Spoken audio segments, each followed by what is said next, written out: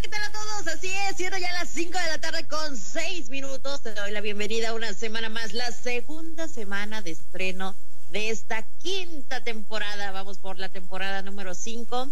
Y bueno, pues esta nos corresponde a nosotros, donde estamos con todo el gusto, todo el corazón de saludarlos en este inicio de semana, lunes 17 de agosto. Estamos ya prácticamente a, la mitad del mes de agosto y espero que te quedes con nosotros a disfrutar de todo lo que tenemos en este lunes. Como cada lunes, pues vamos a escuchar la sección de Preventips a cargo de la enfermera Flora Sosa. También hoy vamos a tener en la exposición a otro de los estudiantes de la licenciatura en comunicación y gestión cultural. Él es un estudiante del tercer semestre y bueno, de esto vamos a estar hablando a lo largo de este espacio. Así que quédate con nosotros. Soy Viridiana Droyet. Transmito para ti en sana distancia desde casa. Aquí es mi casa, la casa de ustedes.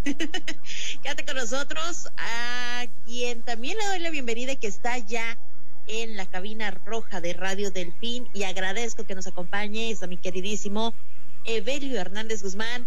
Evelio, desde los controles técnicos, saludos para usted, Evelio. Saludos para ti. Saludos también a quien está en el área de transmedia. Del otro lado de la cámara, allá se encuentra Rafael Rejón en el área de transmedia. A todo este gran equipo que conforma la familia de Radio Delfín y este proyecto de El Semestre, a nuestro productor, el señor Marco Antonio Guerrero, a quien le enviamos un gran saludo, a nuestro director general, también Oscar Bulfrano Aguilar. Saludos para él. En el área de asistencia de producción también nos acompaña Alejandro Sánchez. Saludos para Alex. Y pues ayer en la edición de fin de semana del semestre, pues bueno, ahí está la colaboración que hace con nosotros Alejandro Sánchez en el área de asistencia de producción. Quédate con nosotros aquí con más de El Semestre, no le cambies. Vámonos con la primera sección de este lunes Recuerda que estoy contigo de 5 a 6 de la tarde a través de la frecuencia del 88.9 FM y también transmitimos para ti en Facebook. Así que comparte esta publicación, dale like, haznos tus comentarios, quieres mandar algún saludo, escríbelo ahí en los comentarios en la transmisión que estamos haciendo totalmente en vivo en estos momentos. Con mucho gusto le vamos a dar lectura a esos saludos. Si quieres escuchar alguna canción también, nosotros te apapachamos con eso. Vámonos con más. Disfruta de esto que es Prevent Tips y bueno, pues nos van a hablar la enfermera Flora Sosa. Hoy comparte con nosotros un tema muy interesante. Ella estará hablando con, eh, con nosotros acerca eh, de estas acciones que debemos de tomar en casa para prevenir accidentes en el hogar. Así que ya lo sabes, vamos a disfrutar del tema del día de hoy. Hoy es lunes 17 de agosto, transmitimos para ti en sana distancia. Esto es el semestre. Hola, soy la enfermera Flora Sosa Torcuato, delegada de Cruz Ámbar Carmen. Hoy hablaremos de acciones para prevenir accidentes en el hogar. Bienvenidos a nuestros Preventips. Los accidentes no se producen por casualidad, sino que son la consecuencia predecible de una combinación de factores humanos y ambientales. Lo importante es conocer las causas que los provocan para poder evitarlos y así dejar el mínimo margen a la casualidad. En un accidente intervienen tres elementos. Uno, La persona que sufre el accidente y que está condicionada por sus características personales, edad, sexo, enfermedades, discapacidades, carácter, estado de ánimo, etc. 2. El agente, es decir, el objeto, elemento o mecanismo que desencadena el accidente y que puede ser peligroso por sí mismo, enchufe, cable, pesticida, etc. O lo que es debido a un defecto de diseño o de fabricación, o bien a una utilización incorrecta. Sobrecargas un enchufe, no sujetar las cocinas a la pared, dejar el sartén con el mango hacia el exterior, conducir en exceso de velocidad, etc. De esta forma, cualquier elemento de la casa o de la vía pública puede resultar peligroso. 3. El entorno, que es la situación o circunstancia en que se produce el accidente. Puede ser de naturaleza física, social, económica, cultural o psicológica. El entorno puede condicionar tanto la acción del agente que produce la lesión como la reacción de la víctima. Accidentes más frecuentes. Accidentes más frecuentes. Asfixia por objetos extraños. Medidas de prevención. Cuidar que los niños no introduzcan en su boca juguetes pequeños u otros objetos. No utilizar ropa de cama que pueda provocar estrangulamiento, sábanas demasiado largas, camisones, prendas con cuellos estrechos, redes. Provocar el eructo de los lactantes después de las comidas y antes de recostarlos para dormir. Impedir que el adulto y lactantes duerman en la misma cama. Mantener fuera del alcance de los niños bolsas de plástico para evitar que jueguen con ellas. No permitir que los niños corran mientras tienen alimentos en la boca o jueguen durante la comida. Asfixia por inmersión. No dejar recipientes con agua al alcance de los niños. No dejar a los niños solos en la tina. Tapar recipientes que almacenen agua. Caídas. Cerciorarse que la escalera tenga pasamanos. Colocar protección en ventanas. Evitar la colocación de macetas y otros objetos similares junto a ventanas y en ventanas amplias o balcones no trepar ni permitir que los niños trepen a los muebles y permanezcan de pie sobre ellos. Limpiar perfectamente los pisos de las habitaciones. Nunca dejar solo a un niño en la silla portabebé. Impedir que los niños jueguen en las escaleras, se sienten o corran en ella. Asegúrese que los pantalones y camisas de los niños no sean demasiado largos y de que los zapatos no les queden muy grandes o estén mal amarrados no utilizar escaleras de manos defectuosa, nunca bajar la escalera de espalda, evitar utilizar sillas o muebles para alcanzar objetos elevados, utilizar preferentemente escaleras de tijera. Evitar que más de una persona a la vez suba por una escalera de mano. Cerciorarse que el asiento de la silla sea consistente y colocar estas de tal manera que el respaldo quede contra la pared o estantería para impedir que alguien se atore al bajar. No permitir peleas o juegos violentos dentro de la casa. Quemaduras. Impedir que los niños jueguen con cerillos, velas, encendedores o cohetes. Utilizar guantes o manoplas aislantes para mover objetos calientes o manipularlos dentro de un horno encendido. Utilizar cubiertas o tapaderas para evitar las salpicaduras mientras se cocinan los alimentos. Evitar que los mangos de sartenes, cacerolas y ollas sobresalgan del borde de la estufa. Alejar a los niños de la cocina y el área que se plancha. Cerciorarse de que el cableado de la casa esté en buenas condiciones. Nunca sobrecargar circuitos, tener cuidado al utilizar extensiones y enchufes múltiples Desconectar los aparatos eléctricos si no están en uso. Si ello no resulta práctico, asegúrese de que los cables estén fuera del alcance de los niños para evitar que los lleven a la boca. Enseñar a los niños a no introducir llaves, alfileres u otros objetos de metal en los orificios de los contactos. No permitir que los niños usen aparatos eléctricos cerca del agua. Intoxicaciones guardar los medicamentos bajo llave, no dejar los productos de limpieza al alcance de los niños ni guardarlos en botellas de bebidas, impedir que los insecticidas y productos de jardinería caigan sobre los alimentos, personas o animales domésticos, alejarse de habitaciones recién pintadas o barnizadas e ingresar a ellas hasta, hasta que desaparezca el olor del solvente. No colocar calentadores de gas en cuartos de baño o en áreas mal ventiladas. Evitar las estufas y braseros en habitaciones sin ventilación o en dormitorios. Cerrar por la noche la llave de paso del gas. Vigilar los recipientes con líquidos sobre el fuego que al hervir puedan rebosar y apagar la llama. Electrocuciones. Procurar no usar ni tocar aparatos eléctricos estando descalzo, incluso si el suelo está seco.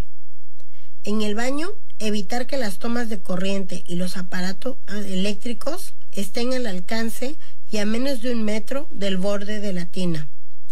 Desconectar el interruptor general ante cualquier reparación o manipulación de la instalación eléctrica. Colocar un conductor de puesta a tierra tanto en clavijas como en enchufes. No manipular aparatos con tubos de rayos catódicos, monitores, televisores, etc., ya que en su interior existen tensiones hasta de 20.000 voltios que permanecen incluso después de apagar el aparato.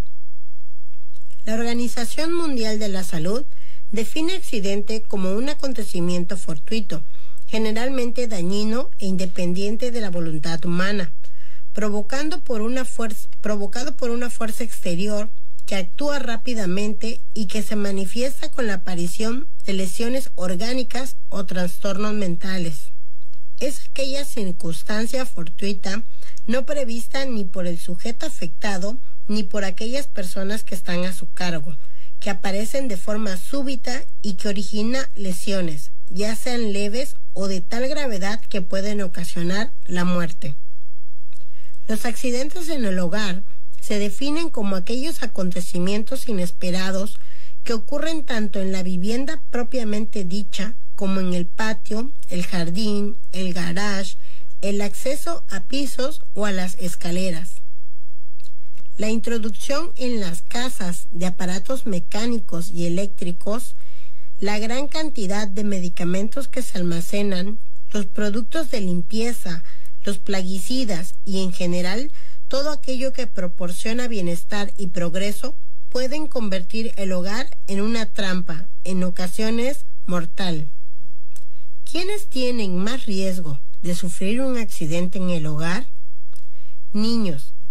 La casa, la guardería, la calle y la escuela son lugares en la que los menores están más expuestos a sufrir accidentes inesperados, principal causa de mortalidad infantil, por lo que es preciso tomar en cuenta diversas normas de protección. Ancianos.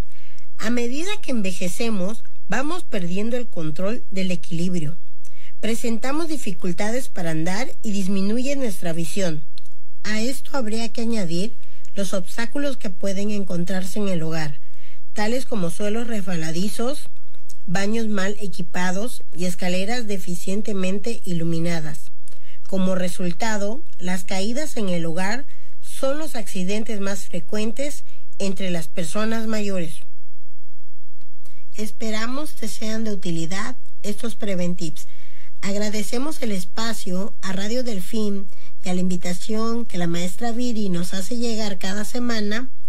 Les invitamos a seguir nuestras redes sociales Cruz Ámbar del EDO, abreviatura de Estado de Campeche Operativa. Pueden dejarnos un mensaje de algún tema que les gustaría escuchar. Nos vemos la próxima semana con más Preventips en el semestre.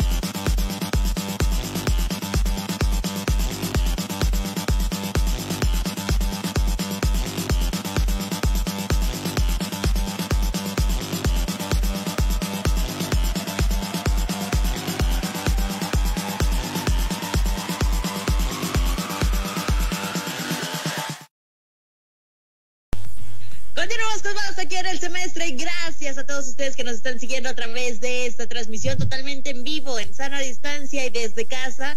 Transmitimos para ti con todo el gusto. Gracias también a quienes están conectando con nosotros, a quienes están compartiendo esta publicación. Muchas gracias a todos ustedes. Enviamos un gran saludo a todos los que reaccionan.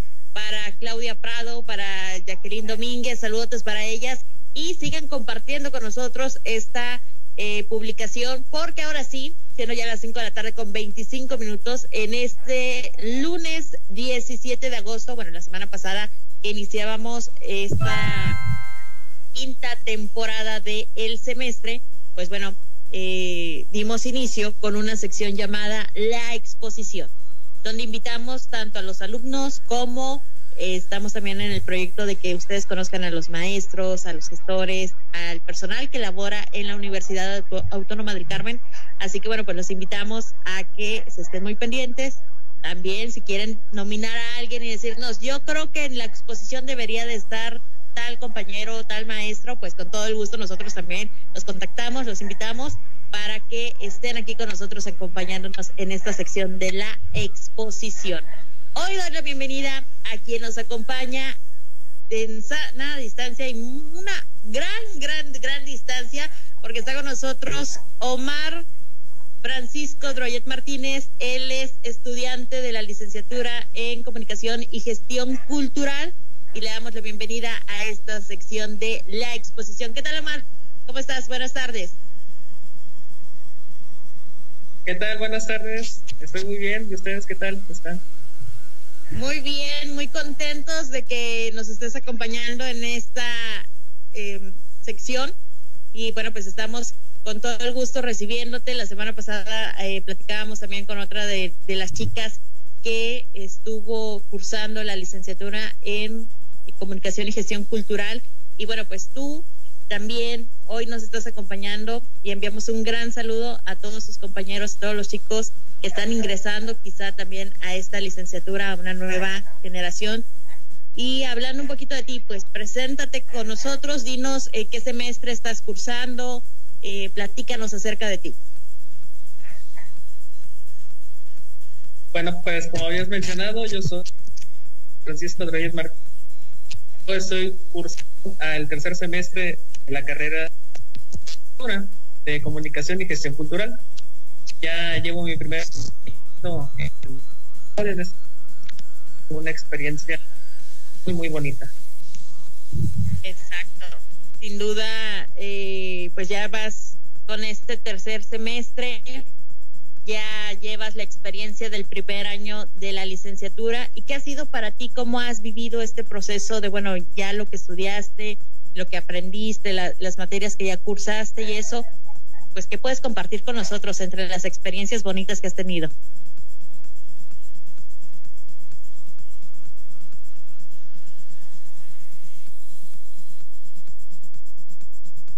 ¿Estamos contigo, pues, Omar? Pues la verdad es que yo venía con eh, yo venía con unas expectativas algo diferentes. Creí que iba a ser una carrera pesada, para mí, pero me he dado cuenta que lo he estado disfrutando bastante.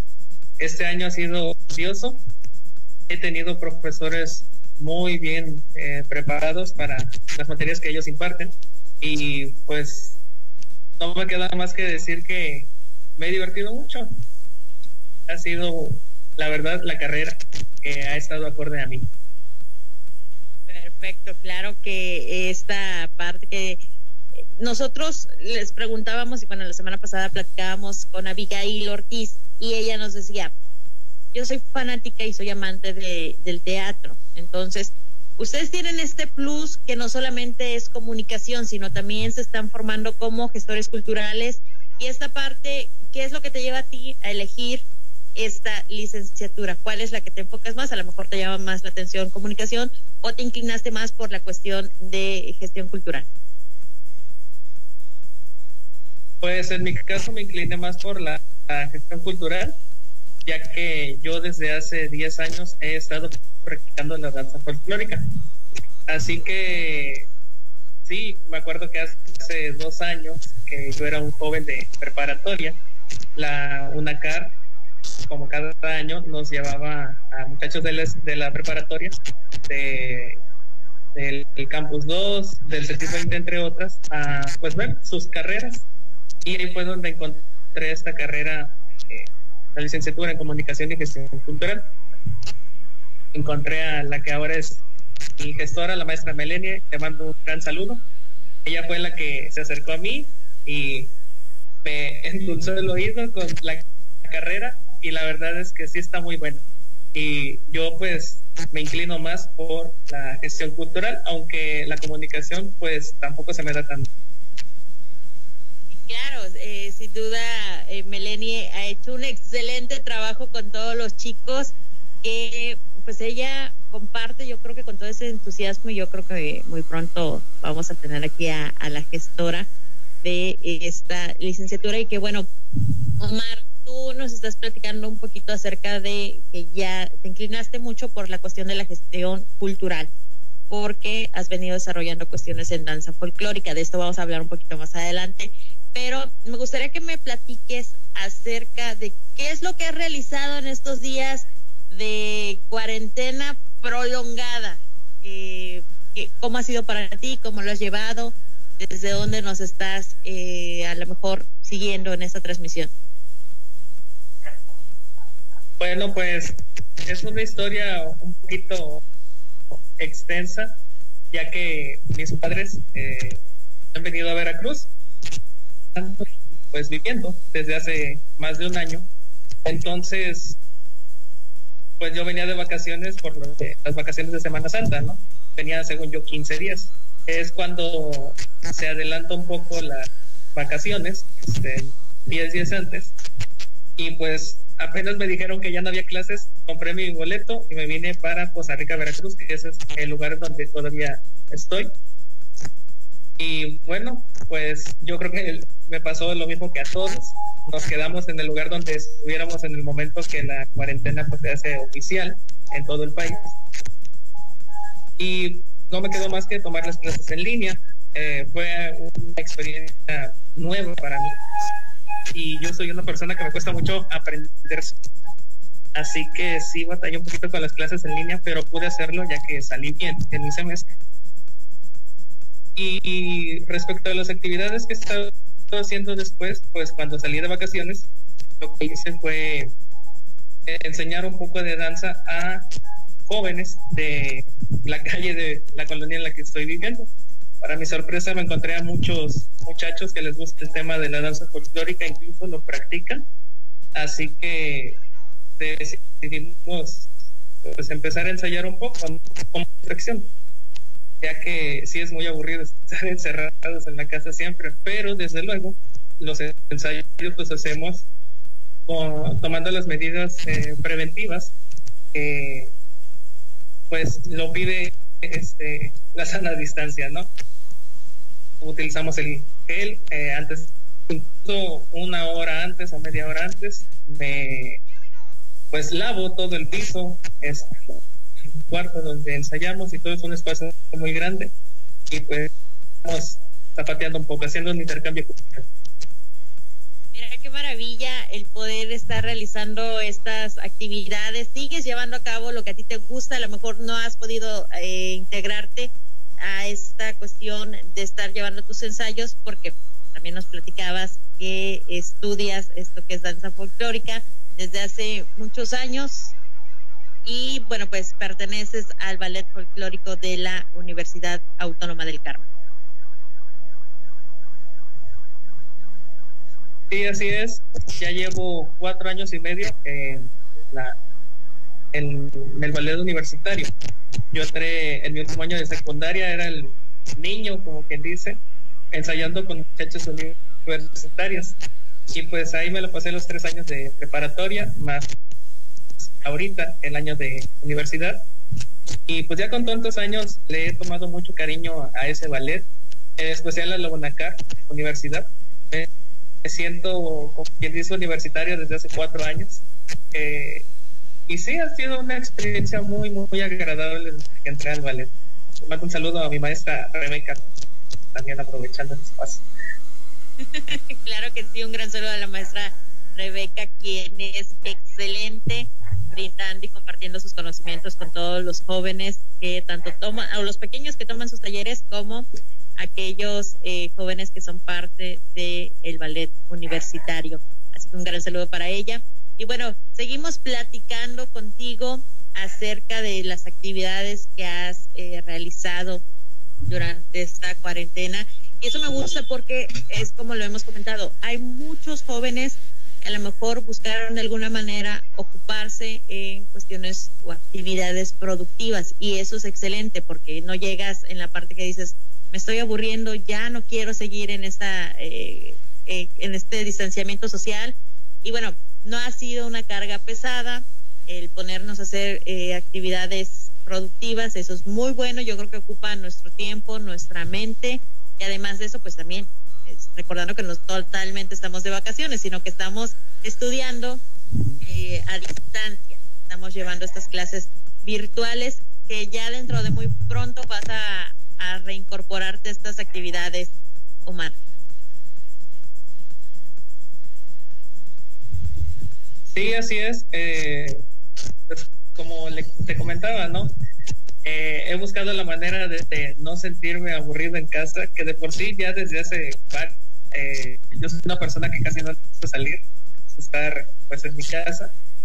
Sin embargo, estar todo el tiempo en la casa, todos los días, sí llega a ser un poco aburrido, ya que pues ir a la escuela o aunque sea ir al súper a comprar es una especie de distracción, ¿no? Que teníamos antes. Así que, pues, como nuevas actividades, eh, decidí ponerme a leer, porque yo sé que cuando leo a veces me trabo o intento leer tan rápido que eh, termino confundiendo palabras y así, así que es algo que trato de empezar a corregir.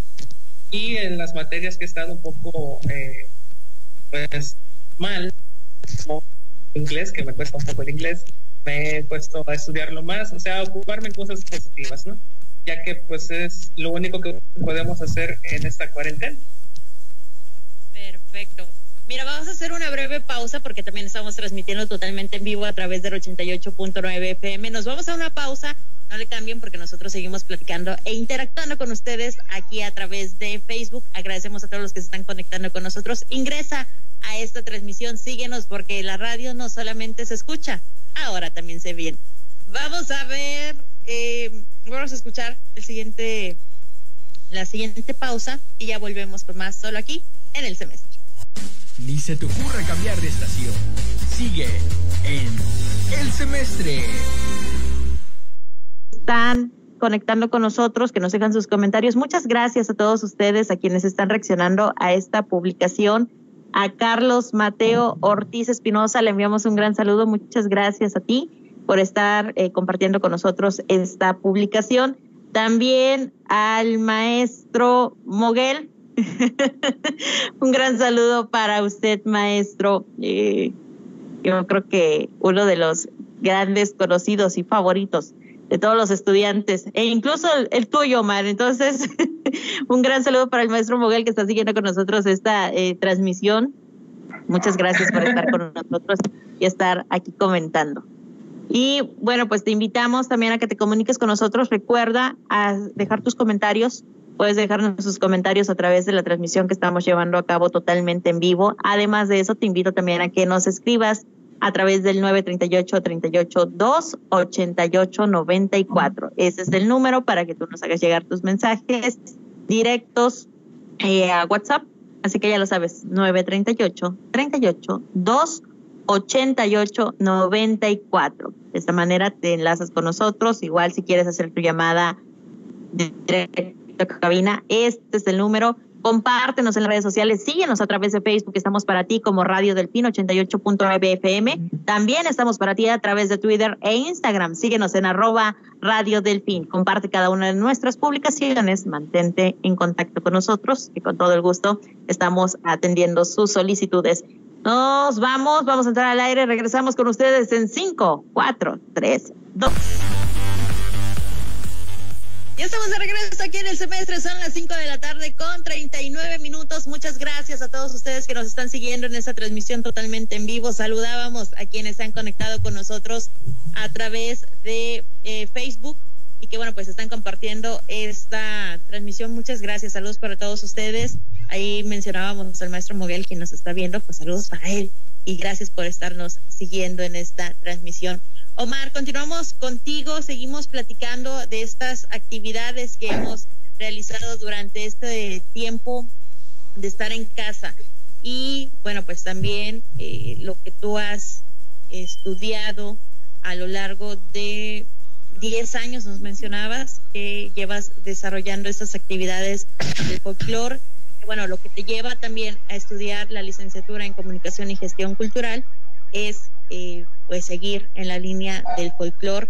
Y eso es algo maravilloso. ¿Qué puedes tú compartir con los jóvenes, a lo mejor aquellos que son de nuevo ingreso y que ahorita estamos en una sana distancia, pero en algún momento vamos a retornar a las actividades presenciales, vamos a retornar a las clases de manera habitual y quizá esos jóvenes que tienen la inquietud por llevar también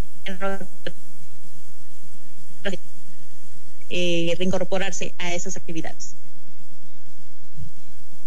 Bueno, pues primero que nada, la recomendación que yo les doy a los muchachos de nuevo ingreso es que tengan mucha paciencia. Eh, ahora sí que el primer semestre se siente pesado, pero en realidad es porque tienes un cambio, ¿no? Estás viniendo de la preparatoria de venir estudiando generales y ahora que te una especialidad, ¿no? En tu carrera puede llegar a ser un poco confuso las instrucciones, las tareas, los formatos que te están pidiendo y pues eso es algo que yo creo que, la mayoría de los del nuevo ingreso es con lo que estamos batallando, ¿no? Tratarnos de adaptar. Pero ya una vez que pasas tu segundo semestre, ya ya una vez que te adaptas, ya empiezas a disfrutar verdaderamente la... No se no crean que la carrera es algo difícil o confusa, vayan a pensar que no es lo suyo. No es así, denle, pues tenganle paciencia y van a ver que con el tiempo les va a ir gustando más y más y se van a enamorar completamente de su carrera. Esa es la recomendación que yo les doy a los de nuevo ingreso aparte de decir, bueno, me estoy enfrentando a algo nuevo, pero ya pasamos. Si tú decías, e, es difícil el primer semestre, bueno, ya pasaste este primer año, ahora vamos a ver qué te vas a enfrentar en este tercer semestre y de todas tus clases, lo que has llevado, las materias que has llevado hasta el momento, ¿cuáles son tus favoritas? Pues mis clases favoritas mm, del semestre fue la materia de producción audiovisual. Fue una carrera, fue una carrera, perdón, una materia que sí, me ¿no? Ya que me pedían cosas que yo en mi vida había visto, pero al final tienes una gran satisfacción del proyecto que tú entregas. Esa fue una de mis materias favoritas ya que aprendí todo totalmente nuevo. Y, ahorita en segundo semestre me divertí mucho con la materia en parte la profesora me va a ahorcar cuando regrese a la universidad, perdón, se me su nombre, ya, ya quedamos dando clases este semestre, pero me dio la, la materia de signos de puntuación y, eh, y, reglas ortográficas. Esa fue una materia que también me divertí muchísimo con ella, es una maestra a todo dar. La verdad que sí me va a golpear regresando. Le mando un fuerte saludo. Este, alguien por el chat que me salve y me mande su nombre, te lo agradecería muchísimo, pero es una materia muy, muy, muy divertida me divertí con la materia de, eh, ya hablando un poco en el área de la cultura, me divertí con la materia de, de gestión cultural, de de eventos, de proyectos culturales, perdón.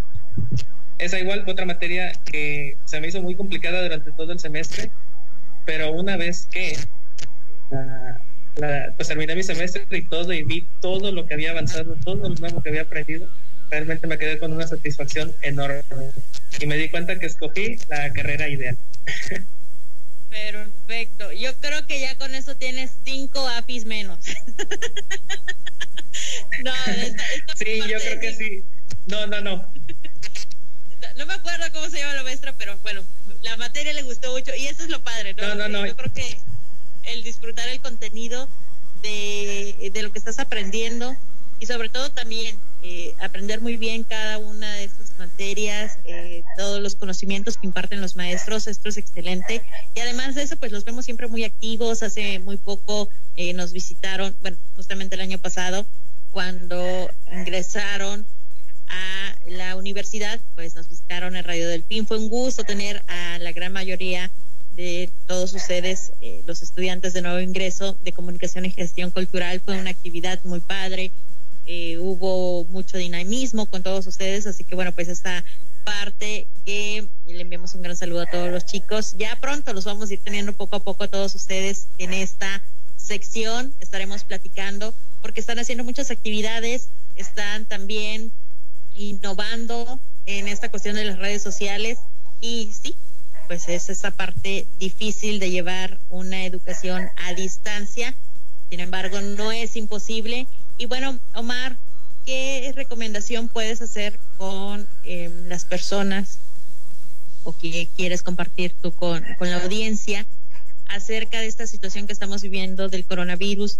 Tú te has empleado en actividades productivas, estás también eh, en una sana distancia y esto te tomó por sorpresa allá en el estado de Veracruz y sigues estudiando, esa es la maravilla de la tecnología haciendo este uso de la tecnología que es maravilloso porque ahorita nos está permitiendo llevar a cabo esta transmisión, nos lleva acá, eh, nos permite llevar a cabo las clases y bueno, pues cada una de las actividades que podemos realizar en esa sana distancia. Incluso también hemos visto que se están preparando ahí en el ballet folclórico con ciertas actividades en la sana distancia.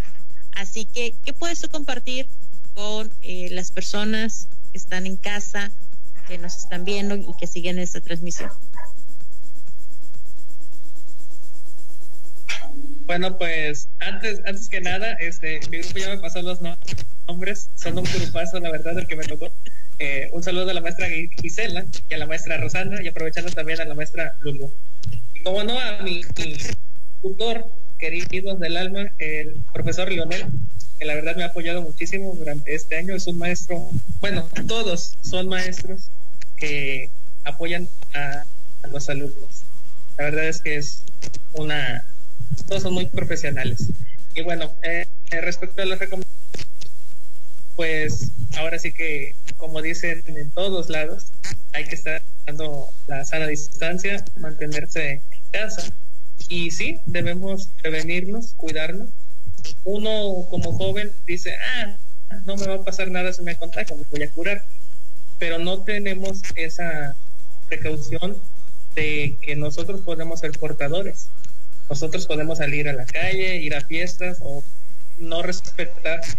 Pero una vez que llegues a tu casa te encuentras con tus padres, si tus abuelitos están viviendo ahí, también los puedes llegar a enfermar. O sea, ese es el peligro que, que se corre hoy en día, ¿no? Así que tienes que ser muy responsable. Y pues por desgracia eh, me he enterado de muchos casos en la isla. La verdad es que a mí me duele muchísimo. Es gente que he conocido. Y pues yo ya nací, yo de ella soy totalmente carmelita. Me, ah, me he sentido muy, muy triste al enterarme de todo lo que está sucediendo acá.